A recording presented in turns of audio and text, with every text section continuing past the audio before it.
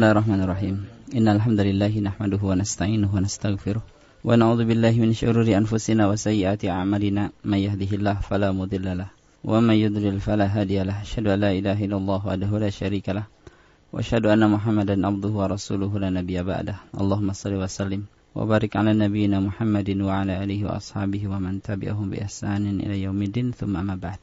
Pendengar rahimakumullah, alhamdulillah pada kesempatan kali ini kita melanjutkan tema-tema kajian yang insya Allah akan sangat bermanfaat di dunia kita, kemudian di akhirat kita nanti.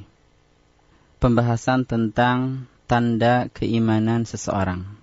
Seorang mukmin mempunyai tanda. Dan ini bisa dikiaskan kepada diri kita semua nanti bisa dilihat apakah kita termasuk orang-orang yang beriman ataukah tidak apakah ada tanda ini pada diri kita ataukah tidak ada. Di antara tanda keimanan seseorang yaitu sururuhu wa farahuhu bil ta'at wal hasanat wa huznuhu wa ghammuhu bil ma'asi wa sayyiat. Ini tandanya.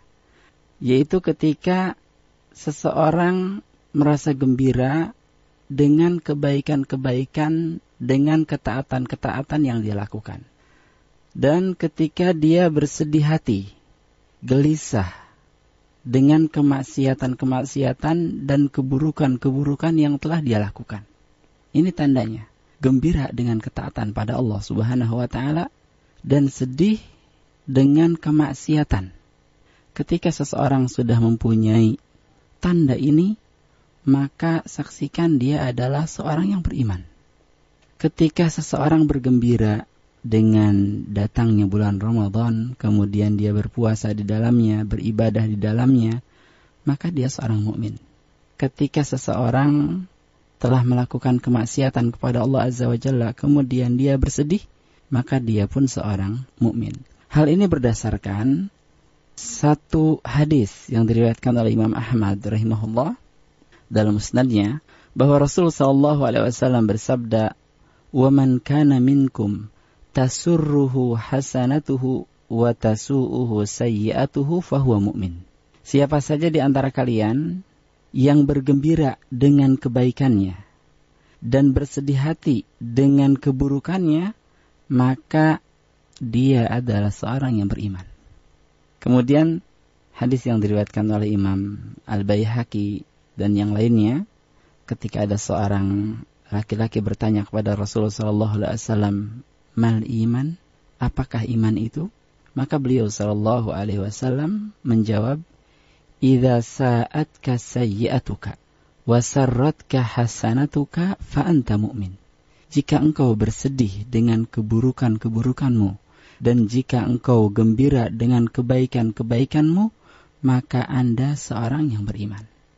Seseorang ketika melakukan salat subuh, dia bangun di pagi hari, dia berwudu, bersuci, kemudian dia melaksanakan salat subuh, dan setelah itu dia merasa gembira, bersyukur kepada Allah Azza wa Jalla. Karena bisa melakukan salat subuh, maka dia adalah seorang yang beriman.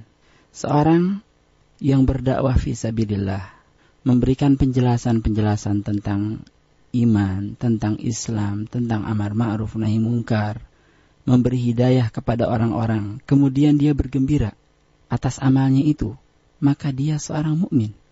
Ketika dia mengingat sabda Rasulullah sallallahu alaihi wasallam, "Fawallahi li ayyahdiyallahu bika rajulan wahidan khairul laka min humrin na'am." Demi Allah, ketika Allah Subhanahu wa taala memberikan hidayah kepada seseorang atas usahamu, maka itu lebih baik daripada unta merah.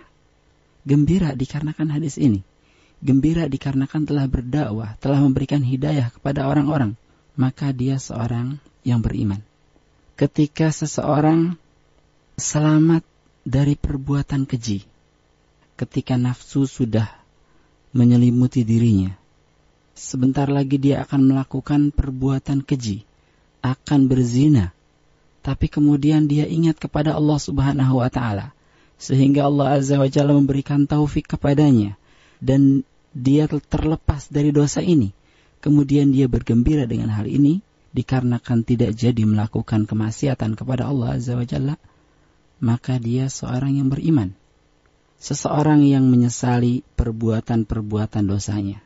Dia ingat kepada Allah Subhanahu wa taala, lantas beristighfar kepada Allah Azza wa Jalla dan dia menyesal serta tidak akan lagi melakukannya, maka dia pun seorang yang beriman dikarenakan menyesal. Jadi kegembiraan-kegembiraan dikarenakan perbuatan-perbuatan baik ini adalah tanda keimanan seseorang gembira dengan pahala dari Allah Subhanahu wa taala dan takut karena azab Allah Subhanahu wa taala. Dengar rahimakumullah, seorang mukmin yang bertakwa dia mesti gembira di dunia ini dikarenakan banyak sekali busyara yang Allah Subhanahu wa taala kabarkan kepadanya.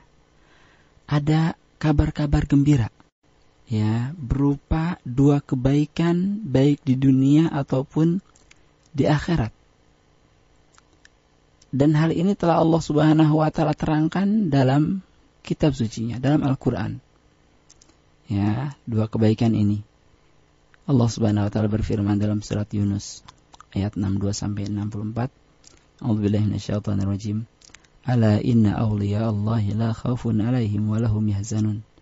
Ketahuilah bahwa sesungguhnya wali-wali Allah yaitu orang-orang yang beriman la khaufun alaihim walahum yahzanun. Mereka tidak akan takut dan juga mereka tidak akan bersedih. Alladzina amanu wa kanu yattaqun. Yaitu orang-orang yang beriman dan orang-orang yang bertakwa. Lahumul busyra fil hayatid dunya wa fil akhirah. La tabdila li kalimatillah. Dzalika huwal fawzul azim. Mereka mendapatkan busyra. Mendapatkan kabar gembira. Ya fil hayatid dunya wa fil akhirah.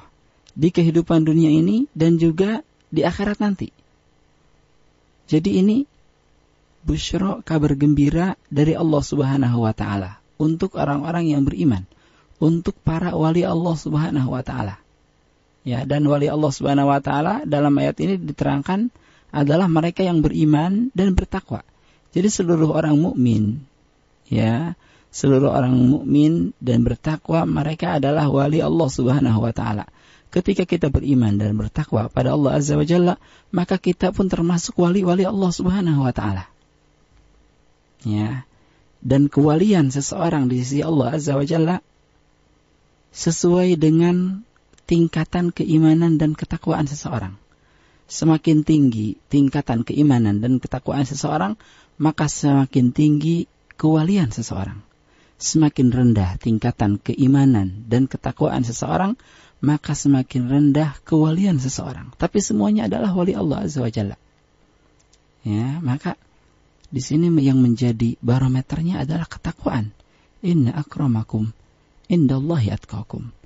Yang paling mulia di antara kalian adalah yang paling bertakwa di sisi Allah Subhanahu wa taala. Ya. Jadi ada dua busyra, dua kabar gembira dari Allah Azza wa Jalla, yaitu kabar gembira di dunia ini dan kabar gembira di akhirat. Ini yang akan menjadikan seorang mukmin gembira. Gembira dengan keimanannya, gembira dengan amal solehnya. Ya. Dan di antara busyra di dunia yaitu al-itmi'nan was-sa'adah ya Eh, wasa'adatun nafsiyah wan nasr wal fath wariz wal ghanimah wat tamkin wal istikhlaf. Ini di antara eh, busyara di dunia, kabar gembira di dunia, yaitu ketenangan hati. Kemudian kegembiraan jiwa. Kemudian pertolongan dari Allah Subhanahu wa taala. Kemerdekaan dari Allah Subhanahu wa taala rizki dari Allah Subhanahu wa taala. Kemudian kemudian ghanimah. Ya. Kemudian uh, at-tamkin, kekuasaan dan kekhilafahan. Ini semua adalah kabar gembira dari Allah Subhanahu wa taala bagi siapa saja yang telah mempraktekkan keimanan dan ketakwaan dalam kehidupannya. Adapun kabar gembira yang akan diterima ya oleh orang-orang yang beriman di akhirat ya, yaitu ar-ru'yas salihah rohal mu'min au tura wathanaul hasan wa dzikrul jamil. Ini di antara kabar gembira yang akan didapatkan di akhirat nanti. Ya, ketika seseorang dimimpikan oleh orang-orang yang salih, ini di antara kabar gembira. Kemudian athanaul hasan, pujian-pujian yang baik. Adzikrul jamil, sebutan-sebutan yang baik. Kita misalkan memandang ada seorang muslim. Dia baik tutur katanya. Dia sopan tingkah lakunya. Dia dermawan dengan hartanya. Sehingga orang-orang mengenalnya, kemudian orang-orang memandang bahwa si fulan adalah orang baik. Mulai tersebar, si fulan adalah orang dermawan. Si fulan bahasanya sangat lembut. Dia santun. Dia penebar salam.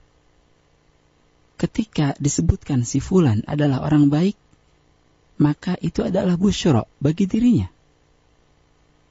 Ya, pernah disebutkan ya uh, oleh seorang sahabat yaitu Abu Dzar radhiyallahu an. Dia berkata, "Ya Rasulullah, ara'aita ar-rajul ya'malul amal minal khairi wa nas alaihi?" Wahai Rasulullah sallallahu alaihi wasallam, bagaimana menurutmu ketika ada seseorang yang beramal ya yang beramal-amal kebaikan kemudian orang-orang memujinya maka Rasulullah sallallahu alaihi wasallam menjawab tilka ajilu busyral mu'min. Itu adalah kabar gembira bagi seorang beriman yang di eh, yang dikedepankan oleh Allah Subhanahu wa taala. Jadi ada ada kabar gembira bagi orang beriman yang Allah Subhanahu wa taala kedepankan di dunia ini. Ya, itu.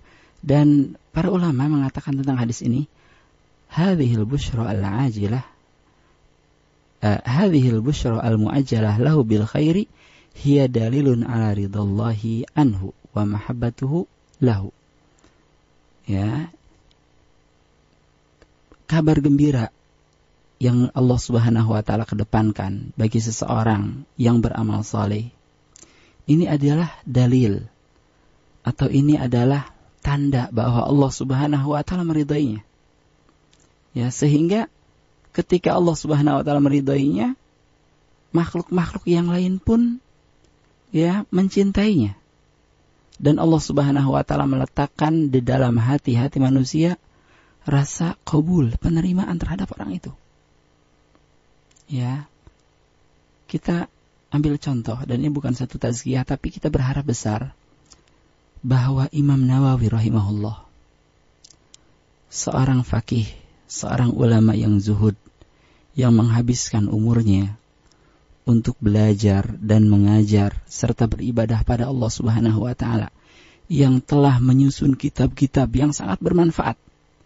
Di antara kitabnya yang terkenal yaitu Riyadus Salihin atau Al-Minhaj Syarah Sahih Muslim atau Al-Majmu'nya dalam kitab fikihnya.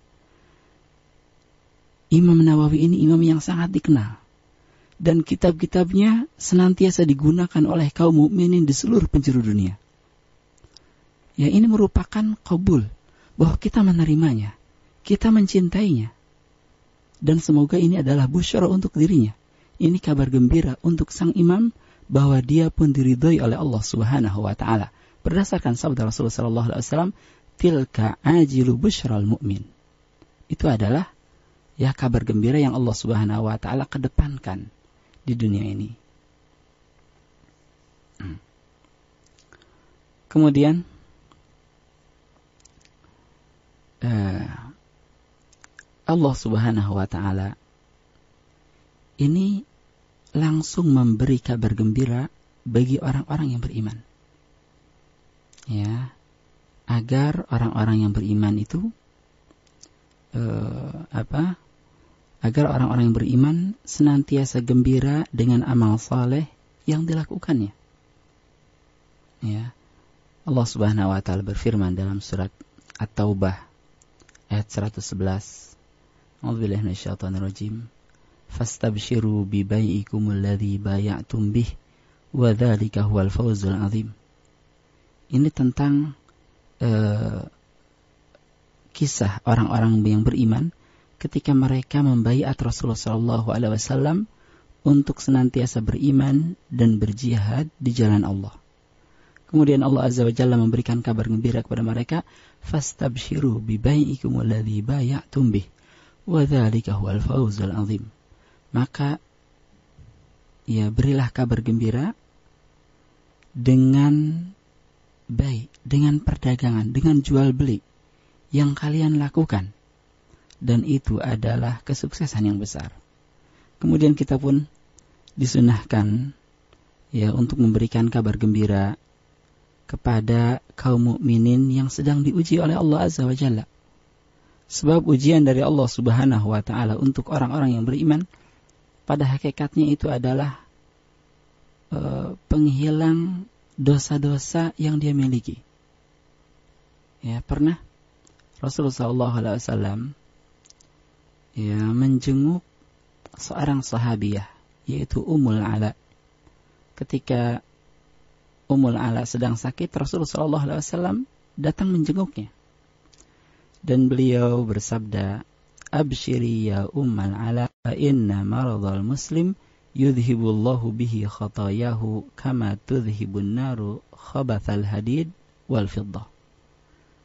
Ya bergembiralah wahai Ummu Ala, karena sesungguhnya rasa sakit yang diderita oleh seorang muslim itu pada hakikatnya Allah Subhanahu wa taala sedang uh, menghilangkan kesalahan-kesalahannya.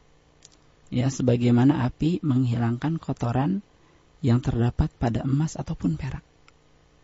Jadi diberikan busyro. Kalau kita menjenguk orang-orang yang sakit, kita pun disunahkan oleh Rasulullah SAW untuk memberikan kabar gembira ini. Ya, kita mendoakannya dan mengatakan la ba'sa tahurun insyaallah. La ba'sa tahurun insyaallah. Syafakallah, la ba'sa tahurun insyaallah. Semoga Allah menyembuhkanmu. Enggak apa-apa. Insyaallah tahur. Tahur itu artinya suci. Ya, ini adalah kabar gembira. Ya bagi orang-orang yang beriman. Kemudian para malaikat pun memberikan kabar gembira. Jadi Allah Subhanahu wa taala memberikan kabar gembira. Rasulullah sallallahu alaihi wasallam memberikan kabar gembira dan juga para malaikat itu pun memberikan kabar gembira kepada orang-orang yang beriman. Ya, Allah Subhanahu wa taala berfirman ya dalam uh, surat Fussilat ayat 30 dan 32 ya ayat 30 sampai 32 A'udzubillahi minasyaitonir rajim innal ladzina qalu rabbuna Allah tsumma istaqamu tatanazzalu alaihimul malaikatu alla takhafu wa la tahzanu wa abshiru bil jannati allati kuntum tu'adun. Ini sesungguhnya ya, orang-orang yang mengatakan Rob kami adalah Allah. Kemudian dia beristiqamah. Maka akan turun malaikat. Ya, seraya mengatakan Allah takhafu wa la tahzanu. Jangan takut, jangan sedih wa abshiru bil jannati lati kuntum tu'adun. Ya, dan bergembiralah dengan surga yang dijanjikan untuk kalian. Jadi malaikat pun memberikan busyra atas perintah Allah Subhanahu wa taala. Ya, kemudian ada juga busyra bagi sebagian kaum mukminin yang saat ini sedang diperangi oleh orang-orang oleh orang-orang kafir. Ya, karena memang terkadang keadaan orang-orang beriman itu lemah terkadang mereka lemah sehingga diserang. Gitu ya. Sehingga diserang. Hartanya dirampas. Ya, anak-anaknya dibunuh. Wanita-wanitanya dipermalukan. Ada busyro untuk mereka. Ya, agar mereka senantiasa terhibur dan tidak terlalu sedih. Dalam surat Ali Imran ayat 139 Allah Subhanahu wa taala berfirman, "A'udzubillahi minasyaitonir rajim." wala tahinu wala tahzanu wa antumul a'launa in kuntum mu'minin. Jangan merasa rendah. Jangan sedih. Kalian itu lebih tinggi. Ya wa antumul a'laun. In kuntum mu'minin. Kalau kalian benar-benar beriman. Kalau kalian adalah orang-orang yang mukmin. Kemudian dalam surat An-Nisa ayat 104 Allah Subhanahu wa taala berfirman, "Wala tahinu fi ibtigha'il qaum in takunu ta'lamun." fa innahum ya'lamuna kama ta'lamun wa tarjuna minallahi ma la yarjun wa kana Allahu aliman hakima. Ya. Allah Subhanahu wa taala mengabarkan seperti ini. Ya seperti itu. Dan janganlah kalian merasa lemah dalam memerangi satu kaum ya orang-orang kafir. In takunu ta'lamun jika kalian merasakan sakit fa innahum ya'lamuna kama ta'lamun. Mereka pun merasakan sakit sebagaimana kalian sakit. Jika kalian terluka, mereka pun terluka. Ya wa tarjuna minallahi ma. Akan tetapi kalian mengharapkan dari Allah apa yang tidak mereka harapkan. Wa kana Allahu aliman hakima. Jadi rasa sakitnya sama. Ya. Lukanya sama. Bedanya orang-orang yang beriman mengharapkan ya balasan dari Allah Subhanahu wa taala berupa surganya, tapi orang-orang kafir tidak mengharapkan apa-apa. Ya, ini juga kabar gembira kepada orang-orang e, kaum mukminin yang sedang diperangi oleh musuh-musuh Allah Subhanahu wa taala. Dan Allah Subhanahu wa taala ya melengkapi kabar gembira ini dengan menyatakan bahwa pada akhir episode peperangan ini orang-orang mukmin akan memenangkan peperangan. Ya. Jadi orang-orang kafir akan terkalahkan itu sudah menjadi sunnatullah. Ya, dalam surat Ali Imran ayat 12 Allah Subhanahu wa taala berfirman, "A'udzubillahi minasyaitonir rajim. Kullil ladzina kafaru satughlabuna wa tuhsyaruna ila jahannam wa bi'sal mihad." Ya, kullil ladzina kafaru satughlabuna wa tuhsyaruna ila jahannam wa bi'sal mihad.